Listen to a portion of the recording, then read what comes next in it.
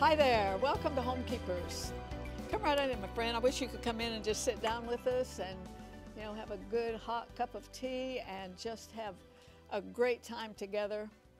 I guess that'll be one of the charms of heaven, you know, when we're not going to be rushed ever and we can just have this wonderful time of conversation and talk about what the Lord has done and all that's going to be great.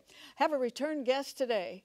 His name is Bobby Petrocelli, and I think he's Italian. I think maybe. Uh, some of the things he's been saying, and he's been on before, but it's been a couple of years, and I'm glad to have him back because I believe there's nothing in the world like a good motivational speaker, and I, I mean that. You know, so many times I tell you one paragraph in a book, one visit to a therapist, maybe one sentence in a sermon, and a good motivational speaker can change your life. Be open to it. That's what Bobby has done for many years in our school system where it is so needed. And if you haven't heard him before, you're going to see he can grab your attention just like that and get truth across in a, just in a small amount of time and change these lives. You're going to be inspired. And we're going to be talking about his book, You Matter, It Doesn't. And some of the things, little um, kind of games he plays with the kids, like having them close their eyes and raise their hand for something, uh, it's so revealing. I'm anxious for you to meet him. And I'm going to join Stephanie. We're going to make sausage stuffed zucchini boats. And these are so wonderful, wonderful main entree. Just throw a salad at it and maybe a hard roll, you got it. And we'll show you how to make those. Uh, before I join her, though, we've been out of these. We got some more. The Too Blessed to Be Stressed cookbook. The wonderful thing about this, and the author, Debora Coty's been on with me several times. Prep time for each recipe is 20 minutes or less. And we've done some of these, and the ones we've done are very tasty, very, very tasty. So it's available again for your gift of at least $20 to the program, and we will get it right out to you I think you will love it. And I'm over here with Stephanie now. You got the sausage going. Yes, so we took two uh, sweet Italian sausage links. We took the casing off mm -hmm. and broke it up, and that's what's mm-hmm. sauteing mm -hmm. in here. I'm putting Arthelene Rippy to work today. Yes. You're going to spray the pan. You're going to put in a cup and a quarter of marinara sauce, mm -hmm. and then you're going to scrape out my last little zucchini mm-hmm. boat. Yep. Okay? That's so I have the sausage already cooked in here, so I'm going to put in some onions about a half of a chopped onion. You know, Wanda told me she fixed this for her boys when and they were still salt. home. Oh, yeah, this is delicious. It calls for pasta, you know, make it over pasta or uh-huh. something, uh -huh. but if you're trying to eat low carb, yeah, I, you could just eat the yeah. zucchini boats. Mm -hmm. Okay, so I, here's the, oh, hey. Sorry about that. Oopsie. This is the inside of the zucchini, what we scraped out. I'm just going to chop it up real quick. This is probably the way you can get kids to eat zucchini and they don't know it. Yeah, so good. These are going to be delicious. It smells so good in here. Mm-hmm. And the sausage adds a nice little zing to it. Yes. But you could do chicken. You could do, you know, mm -hmm. other meats, mm -hmm. but the sausage just adds a little kick. Yes, and when this is all put together, oh, it's going to be good. So now, good. Um, do do you put the pasta in? No. You don't? Okay. Mm -mm. Nope. You add it after. Yep. So it's already cooked. Yep, so let me put my zucchini in here, and I'm just going to saute this up a little From bit. some of the things he was saying, we ought to have Bobby Petrocelli come in here and make us some well, pasta sauce. I said that until. Until what? So this is what he said, okay? I said, come and make sauce and we'll talk like this. He said, well, you know why Italians talk like this? And I said, why? He said, because we spit when we talk and we're trying to catch the spit. I said, oh. I'm not making sauce with you. yeah, this is a really small area here. We'll have a shield, like one of those salad bar shields. but you know, it's the truth when we, we were kind of newlyweds and all, our first little pastorate, we, we were associates. And you would go to the homes of these Italians, they had pots this big. Oh, they know how to spaghetti eat. sauce. They know how to eat. And they eat. put a big bib on you. Mm -hmm. And then you sit down, and I'd eat a bowl of pasta about that big, and I thought we were through. but I was pregnant, so. Oh, so. I, but then they brought what? Okay, that was the Then they brought appetizer. the turkey. Yes. And the dressing, everything goes with it. And they capped it off with lemon pie. And I remember when I was eating the second slice of lemon pie, my husband went, I know her not. Too so. funny. Okay, so what you're gonna do is you're just gonna put those in the in there okay. for me in the pan. You're gonna take the zucchinis and put mm -hmm. them in there. Thank you. So this just sautés down a little bit. The zucchini can get has a lot of water in it, so if it gets too uh, wet in here, you can take some of the you get some of the liquid off. Liquid out, yeah. Okay. This is so. This looks so good. I can't and wait. And I keep thinking it. you're going to trick your kids into eating zucchini. Yeah, because they're both. Yeah. I wonder who thought of that. Shall I uh-huh. try to get one more in? Yes, please. Okay. Yep. Squeeze them up tight. There you go. So we fill the boats up with the with the mixture. We put um, cheese over the top, and then we bake it for about 30 minutes covered with aluminum foil. Mm -hmm. And then do you want to show how beautiful? Oh, yes. Be careful, it might be hot. Yes. It is gorgeous. Look at that. And you can go with the pasta or not. Uh, or not, yeah. Mm-hmm. That looks so, so good. I'm going to try to get it over without it. You got it? I can help if you need me to. There you go. Mm. Oh, my. Mm. So good. Yeah, I have a feeling the um, sausage gives it the yeah, and I was worried about like because it was only a little bit of sauce on the bottom of the plate, and I was like, well, what is that going to do? But that really. Oh, that's really hot. It is very hot. Yes. If I burn my mouth, I can't talk. Here, I'll do it. You do it. Okay. You taste it. Because if me. I burn my mouth, I just have to go back to work, so yeah. it's okay. Let me not have any cheese coming down my. Mmm. And let me tell you something about this girl. If it's that not good, you'll sauce, know it. I don't know what marinara sauce you got, but that it was Is a it? jar, and that was very good. Well, it was the cheapest on the shelf. I know that. I'm ready to go digging through the garbage can. okay, uh, we call them um, zucchini, sausage, sausage stuffed, stuffed, zucchini mm -hmm. And the recipe is absolutely free. Mm -hmm. uh, that information. Yes, the recipe. We don't send you the food. We've had some phone calls about people saying, "So you'll make the food and you'll send it to us?" No. Yeah, she will. I won't I wish we could. That would be amazing, but we'll send you the recipe. Uh-huh. Yes, and uh, this whole thing is a whole lot easier yeah. than, than you might think. So, yeah, so easy. Several choices uh, in order to get your recipe. They're coming up. You make your choice. And after that, you're going to meet Bobby Petrocelli. He's Italian. Shock. If you would like a copy of today's recipe, you may receive it by contacting us through social media as listed on the screen. When requesting a copy through the mail, be sure to include a self-addressed stamped envelope. Thank you, and please know we always appreciate hearing from our viewers.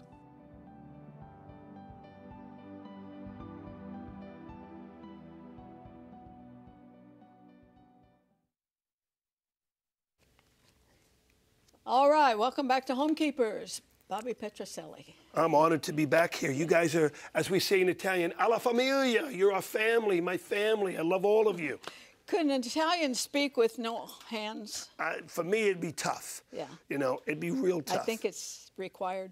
Yeah, I yeah. think so um, it's been a while. Give us your pro, your story and how you ended up with a ministry called 10 Seconds. Well, long story short, you know, yeah. going back over 30 years, yes. I tragically lost my wife. Yes. While asleep in bed, truck dri- a drunk driver crashed his truck through my house, killed my wife, changed my life forever. As I say to my audiences, my life was not changed in one day. It was changed in one moment. Mm-hmm. Well, the students at the school that I was at, Arthelene, responded so wonderfully and rescued me.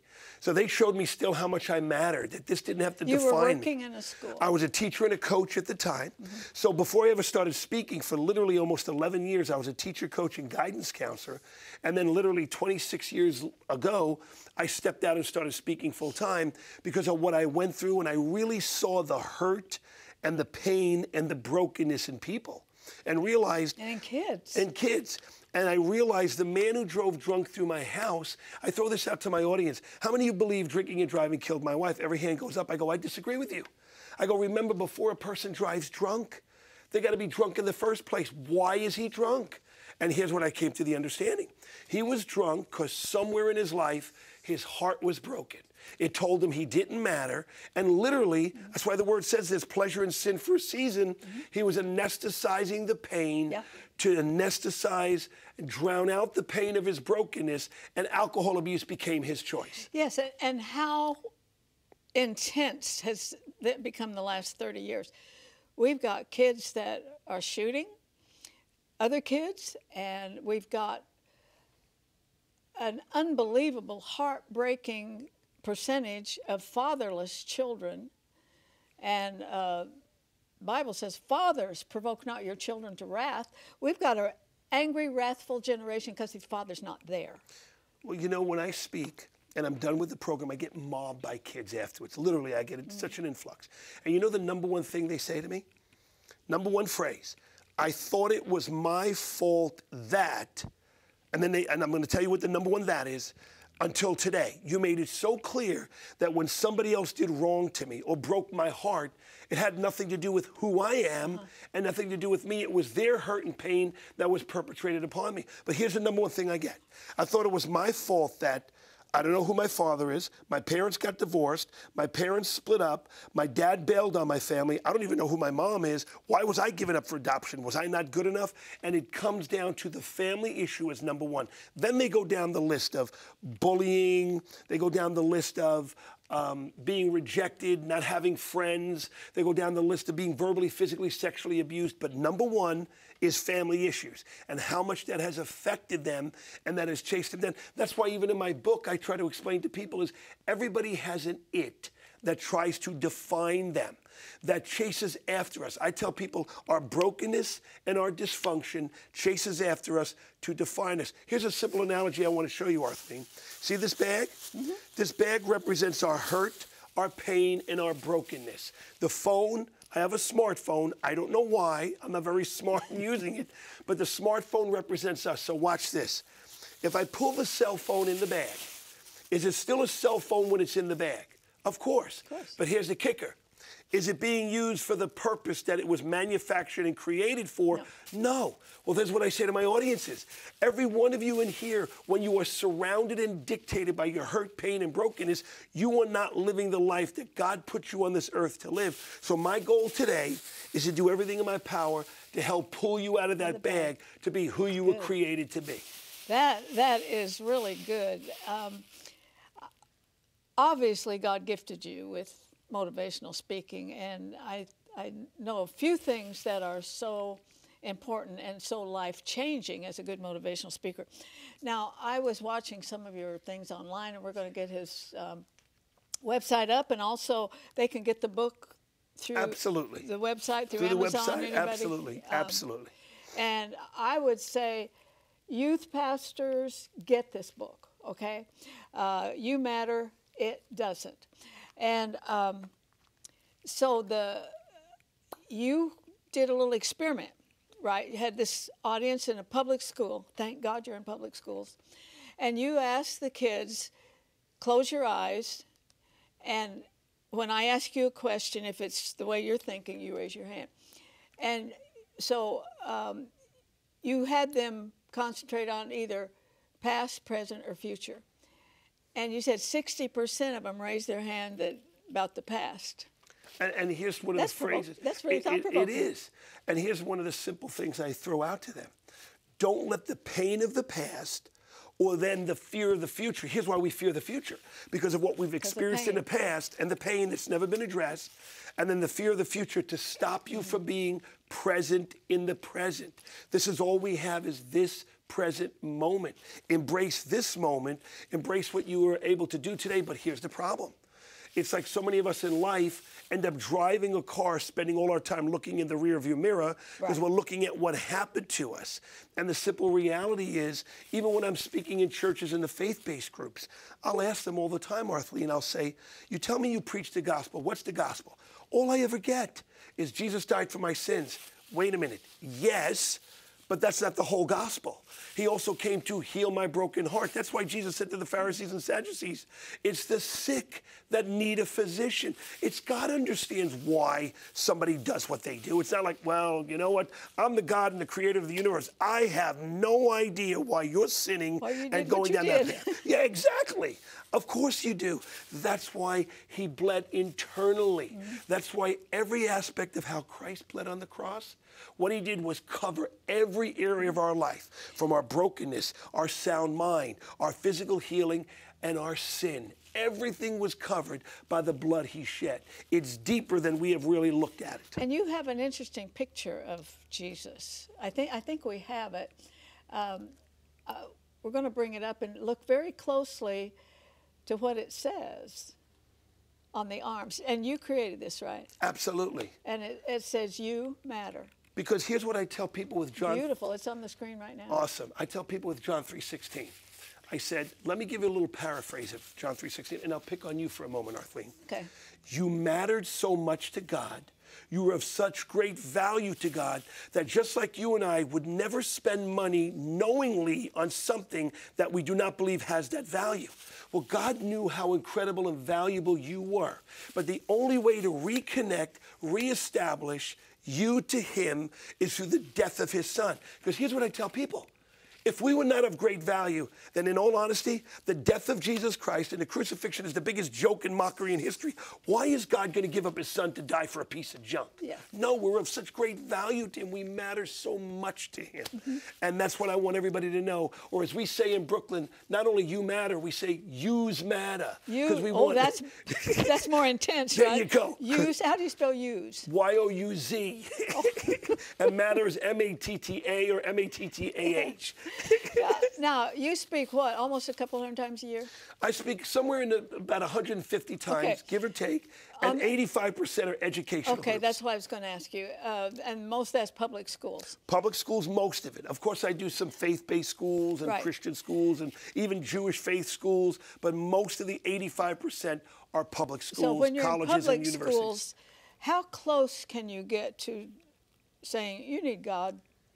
I, I do it in a very non threatening way. I'll, when I talk about how did I get through my tragedy, I said, I'll use these phrases. Listen, I'm in a public school, so I respect the rights of what I can or can't do. Sure. But for me personally, without my very strong personal faith, I couldn't be here today. And then I'll also get into how to have faith and belief in myself. But I talk about that in such a way that I'm not doing anything to infringe upon anybody else's system or belief systems. Uh, what, give me some of the feedback from some of the students. Um, you probably ought to carry a notebook around and write some of them down. I get so many emails, um, texts sometimes, Facebook messages, and I'm humble. I'm in tears. I literally am in tears when I read them. I get kids that'll come up to me and say, I've been going to counseling for five years. I got more out of your one hour program than I've gotten in five years because you really surprised. helped me understand more than ever the depth of where this hurt came from and how it's been chasing after me and how I see myself through that. You know, even the other day, I, I won't complain. I'm grateful for every opportunity. I was just in Hawaii last week speaking.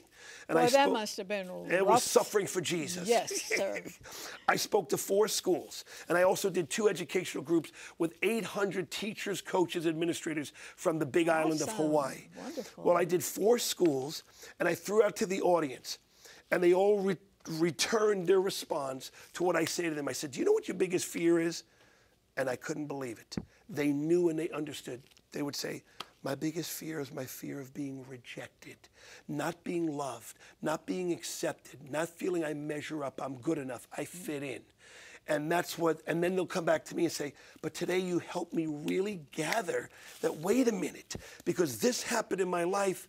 It's not who I am, it's what happened to me, but it's not who I am. And that to me becomes the biggest thing that people need to grasp. That must be such a revelation to a young person, just life changing. Now, also, we were talking about a situation that really the ramifications of it. It needs it needs to just be multiplied. And I think some of our young people are pretty good with this. But you told me the story about a young man. Uh, was in kind of an all African American school, and he was he was eating lunch and and just all by himself. And he just needed to know that that he's loved. And I would share those stories when I speak in the assembly. I said, you know what? I said, life doesn't happen one day at a time, it happens one moment. I said, you know, you could take one moment and sit next to somebody, invite them to yeah. be with you, love on them, just show them. One of the things I send my audiences out with, I said, put on the You Matter garment. Take one, I said, could you imagine if every person in this room took one moment a day to make a difference in the life of another person? I got to tell you this, I didn't tell you this earlier. Before I left this morning to come over, I all of a sudden am reading a post on social media. And in Santa Fe, where I had worked when I went through the tragedy, I'd been back five times because of the school shooting that had happened there. But one young boy literally started to post these things about how tough life has been. And, he, and, and I'll be honest with you, Arthelene, he's starting to sound like he's being suicidal. And I reached out to him because it just stood out to me. Yeah. And he literally came back, and I could see the tears in the words he said. He said, You have no idea. He goes, So many times I want to feel that I'm loved and valued, and you took the time to tell me how much I mattered and that my life is so yeah. worth it. I scream out to the church in a positive way before we go after anything else. There's a reason why the word heart is used 836 times in the Bible. There's a reason why, watch this, the largest piece of armor we as Christians wear is the breastplate of righteousness. You know why? Because righteous and sinful living come from the heart. If my heart is not right, I'm going to live, sin- I'm gonna live sinfully. There's a reason why he says, Take up your cross daily and follow me. Mm-hmm. Crucify the flesh daily. What did Jesus do in the cross, on the cross, he healed my broken heart. You know what my simple prayer is every night for me, Arthelene? I said, Father, every day I give you my heart. I pray that you baptize it in your blood one more time because your blood came to heal that brokenness. And anything that I have sinned and done wrong and I need a renewed mind and a healed body, may your blood just bathe it, heal it, and deliver it. Yes, and if you just join me, I'm talking to Bobby Petrocelli, and thank God he is in our schools talking to our young people, and he knows exactly how to talk to them. I think you could tell that. I want to talk to you again about his book. You can get it through the website, you can get it at Amazon.com. You Matter, it doesn't. Uh, if there's anybody out there who teaches young people in Sunday school or any kind of a situation like that, or uh, youth pastors, uh, you really ought to have this because he kind of has that pulse, that heartbeat of the young people today. And sometimes, Bobby, when I think about it, and I've been in the ministry all my life, it's so enormous. There are so many contributing factors to our young people. They haven't had time to make any really conscious decisions. And uh, we're getting ready to address, and we've done it before, but I've got a, a very great expert coming on uh, very soon about human trafficking. And, and this this nation, born kind of in the fires of revival, our Constitution reeks with God and His will and His plan, and yet we are the biggest proponents of human trafficking in the world. This United States of America, it makes me want to throw up. Well, you know what? When, when I go into schools in other areas, for 11 years I've been part of James Robison's ministry, Life Outreach, rescuing kids sold mm-hmm. in human trafficking. And here's something I share with people even on that. Those kids are so broken. You think I'm going to go up to them and talk about their sin and their behavior before I go into their heart condition? No. But here's the reality. God showed me that people desperately want to be loved in life. And I always come back to this. When parents have sold their kids or given up their kids or allowed their kids to stay there, it comes down to one thing which is really sad. It comes down to the fear of a money issue, that they're willing to do something so horrific because the pressure and the fear and the anxiety of having money, I'm going to give up my kid in this way or allow my kid to do that just for money, it shows once again how broken our society is, starting from the top to bottom, bottom to top, side to side, front to back. And Jesus is the only one who can heal that brokenness. Now, tell me this. Can we have kids that are kind of being trafficked? They're sitting next to us in church. You're talking to them in the schools. Uh, they haven't all been kidnapped No, that's what I'm saying. And but what happens is they've been pushed in it by their families. There's even been some kids that the guilt trip that parents trust me, I've talked with them. The guilt trip that parents have put on them because they're hurting so bad financially that the kids have gone out and done it because they want to help their family. Once again, it's that whole demeanor and mindset. I thought it was my fault. Well, I wanted to help my family, so I was willing to follow, excuse the expression, the stupidity of what they were doing to me because we needed to provide funds for the family. Yeah, but there's some also perhaps being trafficked that the parents don't even know. No, absolutely. You have a, you know, you have a little of everything. It's got it so many. There's so many components. demeanors and Some facets of them are kidnapped. Of it. Absolutely. You have a combination of all of it. And to me, it used to be more the kidnapped or taken and that type of thing, but you have more and more of these other aspects that have opened up. And here's the kicker because of social media, mm-hmm. there's so many great things about social media, but also, you know, I, I use this analogy in schools with bullying.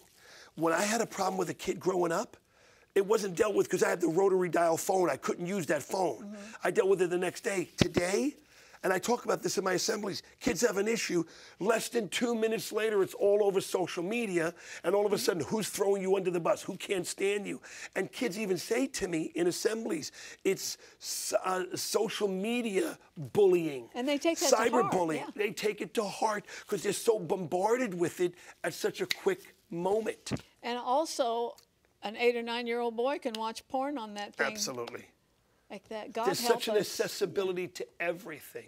And here's the simplicity of it everything great that God created, the imposter, yes. the loser, Satan, camouflages it in a different ways. Exactly, and counterfeits it. Mm-hmm. I always say this you never find a thief going where there's no value. Yeah. You don't see a thief holding up a homeless man at gunpoint, and I don't mean that disrespectful. Right. The homeless man may not have anything of material value. The thief wants to go where there's material value. Yeah. Satan's no different. If I can go after the young. this, that's right. The young ones, then we can stop them from being who God's put them on the earth to be and put them in that bag. Oh, it's been so good to have you on. We're I'm almost out of time. Can you imagine? No, not with us. It's been about two years. Uh, but aren't you glad he's out there? Uh, this gift isn't passed around to a whole lot of people. It's a very specialized gift, and I think it is a gift to the youth of the nation. So I hope you got the website. I hope you put him on your prayer list uh, because he's in the trenches with Satan. Satan's going to pay the highest prices for those young people because they're the most value to him. So um, now you know. I want you to pray for them, and I certainly want you to join us next time, remembering there's no higher calling than that of a homekeeper. God bless you. If you should miss a Homekeepers program, you can catch up by going to www.ctnonline.com. Click on CTN Programs and then on Homekeepers.